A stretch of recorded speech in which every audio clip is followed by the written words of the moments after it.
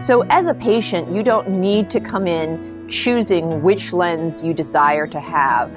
What we ask is that you convey to us your desires, your life activities, and together with us, we'll work with you on determining the best implant for your eye.